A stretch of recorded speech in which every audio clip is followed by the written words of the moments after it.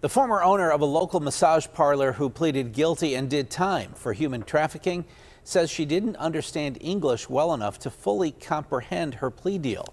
The Trib Board's Hu Shu told the court through a translator that she did not understand the impact of pleading guilty. She says her lawyer never explained to her that she had a right to a trial or that she could be deported.